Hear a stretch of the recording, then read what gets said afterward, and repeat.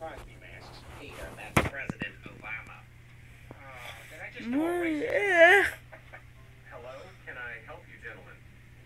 Alright, you guys have been sitting in front of my house for the last five hours trying on Obama masks. Something I can do for you? We, uh, we, we were just getting ready to break into your house. Excuse me? Uh, Go ahead, cool, sure. Oh, thank you.